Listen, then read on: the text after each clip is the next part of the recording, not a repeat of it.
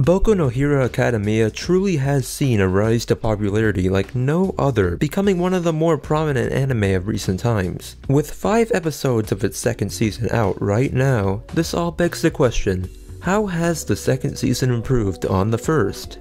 Hello everyone, this is the RPG Monger and today after watching the first 5 episodes of season 2 of Boku no Hero Academia, I have a lot that I want to address. Now, off the bat, from the first episode of Season 2, there has been quite the upgrade in quality in terms of animation and such. Hell, we even got a snazzy CG break animation, though that's just really a minute detail. Considering how popular the first season has become worldwide, there is no telling how large the fortune they struck originally was, and in turn, the second season for sure has a larger budget, and it shows. So before I go over all of the improvements I noticed, let me give my thoughts on the episode so far. Alright, starting with episode 1 of season 2, not really much to talk about there. It's really just a recap episode, and just the episode to kind of bring you back into the swing of things. Though, something I found particularly funny is that with Boku no Hero Academia, it's been a year since its first season, and it more or less dedicates an entire episode as a recap with not a lot of plot. Though then we have Attack on Titan Season 2.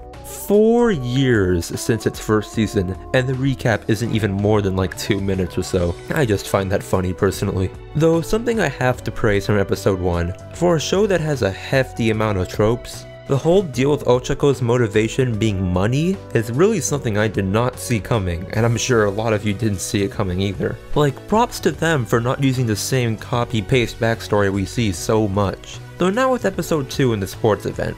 Like, everyone tells me that the Fire Ice Kid gets better, and I really hope he does because right now, him along with Bakugo are probably my least favorite characters at the moment, just because of how horrendously edgy they are. Though as I've said, in this case, I'll just reserve my judgment. But yeah, besides that, the only other thought I have is I am for sure loving these new characters from the other classes. I just hope they all get fleshed out instead of taking the back seat. No, episode 3 definitely stepped it up with some pretty tense scenes where anything could happen. Overall, another solid episode. Episode 4, however, there was quite the curveball thrown at us, with Tenya not joining up with Izuku. Like, something that I love about this second season is that it is actually using the predictability from the first season to its advantage, to throw us all for a loop. Not to mention, this episode finally gave Shadow Guy a spotlight, which I had been waiting for for the longest time.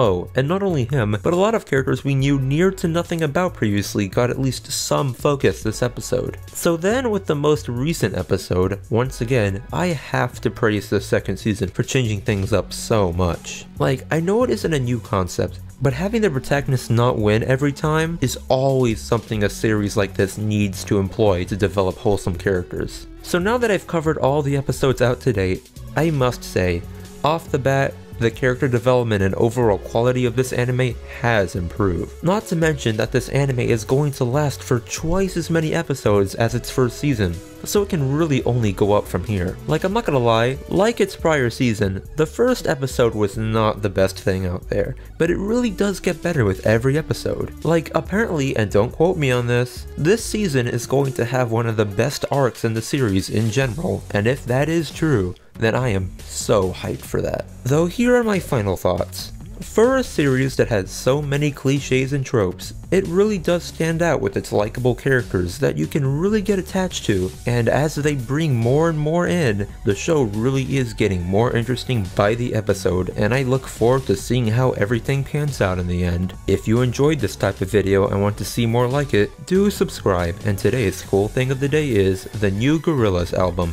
Humanz. Like for me, someone who really doesn't get into bands, Gorillaz really are the best, and their new album for sure lives up to the legacy that they've set for themselves, and I suggest you all give it a listen. Though that being said, I'm the RPG Monger, and don't forget that each and every one of you are fantastic.